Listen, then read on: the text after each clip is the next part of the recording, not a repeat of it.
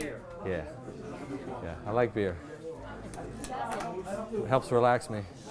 I'm nervous in front of cameras. No, don't be. Forget about it. You're talking to me. I know, you've, you've really put me at ease. Tell me your name one more time. My Marie. Marie. I should be able to remember that. It's an easy one. That's right. Ma, ma, I just Okay, remember. can you pronounce it the French way? Marie. I'm sorry. Do you want to put it into Uh, oh yeah, I could, yeah, I could put that. Could you s- strap it on it? Yeah, it's perfect. Great. Perfecto. Thank you, Marie. Dave, are you all set? I'm all set. Ready to go? Ready to answer questions. Ready for the interrogation. Yes, I love this play. So, Dave, Yes. when was the first time you heard Jaco's music?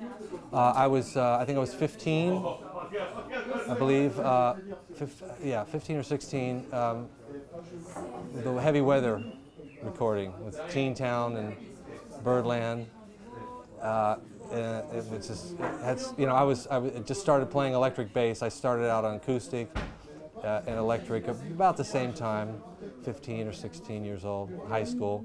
And I came up through the band program uh, my high school band program, you know. So I started playing uh, uh, brass instruments. I played trumpet and euphonium and tuba, and then switched to electric bass because uh, I could read music, and I realized that that I could start working professionally as a bass player because of the fact that I learned to read music. And, and there was, well, I'm from Dayton, Ohio, which is the Midwest, and there was, a, there was kind of a dearth of bass players in the area that I grew up in. So uh, I started playing in rehearsal bands and started playing, you know, weddings and, and, uh, and pit orchestras and different things professionally. By the time I was 16, 17 years old, I was, I was playing gigs.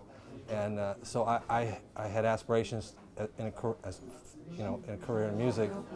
And uh, the first time I heard Jaco, it had a tremendous impact on me. Uh, Jaco, Jaco revolution. Not only did he revolutionize the bass, but he revolutionized music too in a lot of ways.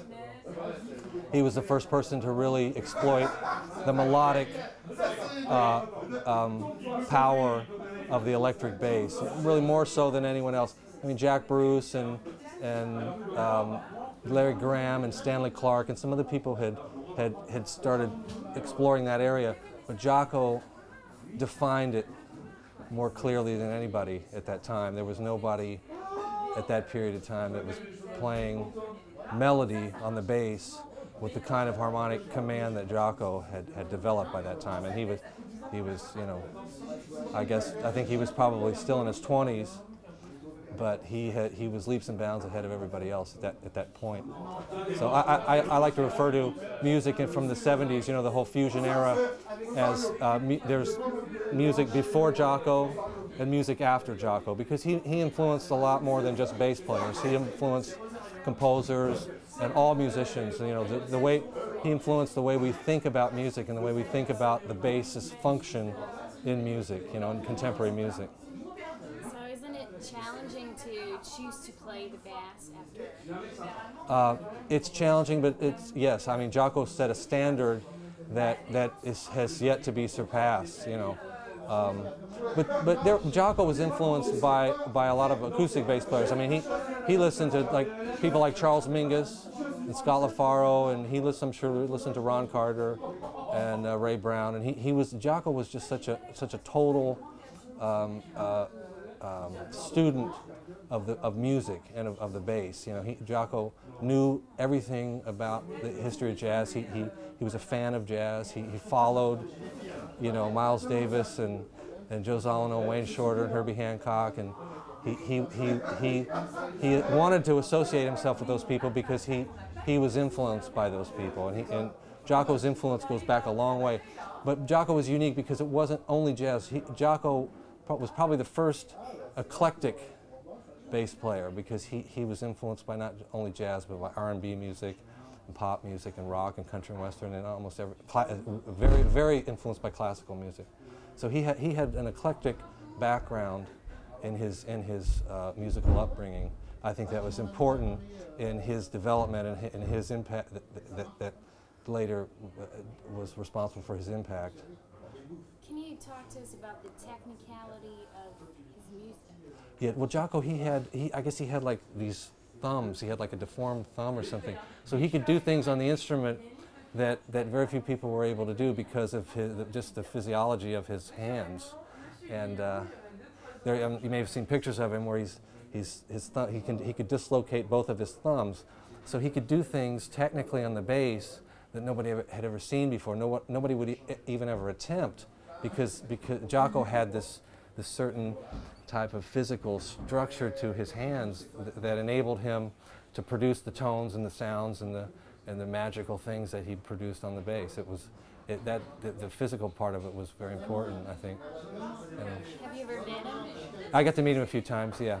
How was it? Very interesting. I mean, I was, you know, was a huge fan of his. Uh, you know, he was uh, an idol of mine, and uh, he's he's one of the major reasons why I play music today. You know, um, listening to Jaco as a kid, hearing that first solo record, he actually hearing the Weather Report record first, and then and then getting access to the other records that he had done prior to that. I think the Pat Metheny Bright Size Life was a very important one, but that had come before.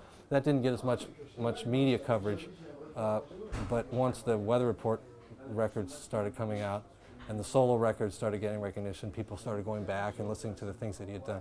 And, and even as far back as the Wayne Cochran, some of the Wayne Cochran recordings that, And and the R&B bands that he played with in Florida. What kind of a man was he? Well, I didn't know him that well. I mean, I just knew him peripherally. I, mean, you know, I got to meet him, and that's you know that's how uh, through Jaco was how I, I became exposed to Peter Erskine and his career. And so the connection between Jaco and Peter Erskine is very important, as, as anybody knows who's who follows music history from the 70s.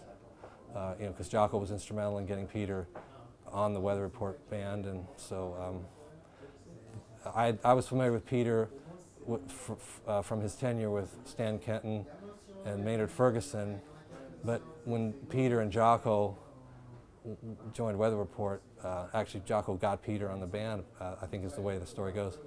Uh, that was that was a very important uh, event in musical history, and the, that, that chemistry um, between those two guys is, is just legendary, you know. And if you listen to the records, it, it's, it's, it's obvious, I think, to anyone.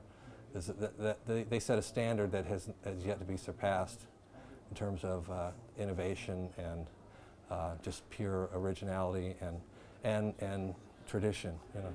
And all those, all those, those things combined. It's very rare to hear musicians that, to, that play together on that level, you know. Is there one of uh, Jaco's composition that you really worked hard on? Yeah, uh, Three Views of a Secret was something that, that, that I learned to play on the bass. That was one of the, one of the first things. But, you know, going back to the, his first solo records, I mean, um, you know, the Donna Lee track is something that I think all, that's, that's uh, almost become a staple of every bass player's vocabulary. You know, I have, I teach at all the universities in Southern California, and all my students come in, and that's the first thing they want to play for me. They want to show me that they can play Donna Lee. And that, that's an old Charlie Parker song that goes way back to the 40s. And it's based on an old standard called Back Home in Indiana. And it's funny that they know Jaco's recording of it, and some of them can even play Jaco's solo verbatim. Uh, I've worked on that a lot. You know, I've forgotten it now. I can't, I can't, I can't execute it anymore. But, but, but I was very influenced by that.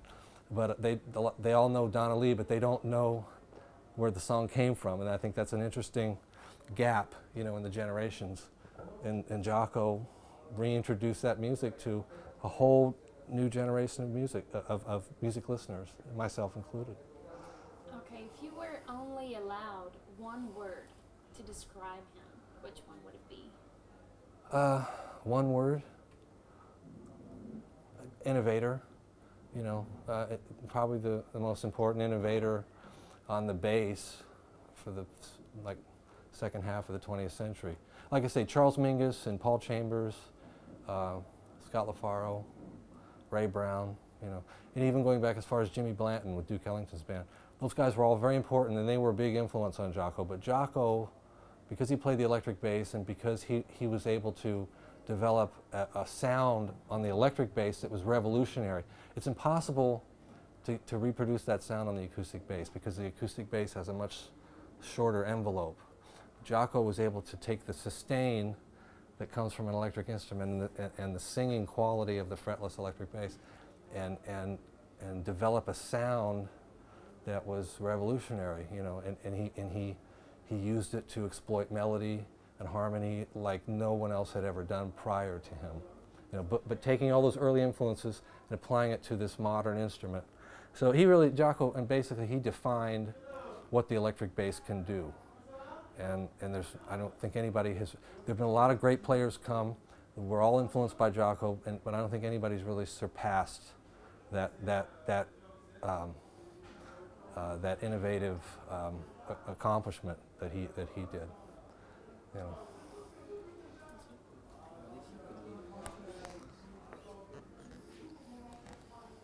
So, have you heard Julius, um, Jaco's son? Yes, I have, as a matter of fact. Yeah, yeah, and he sounds great.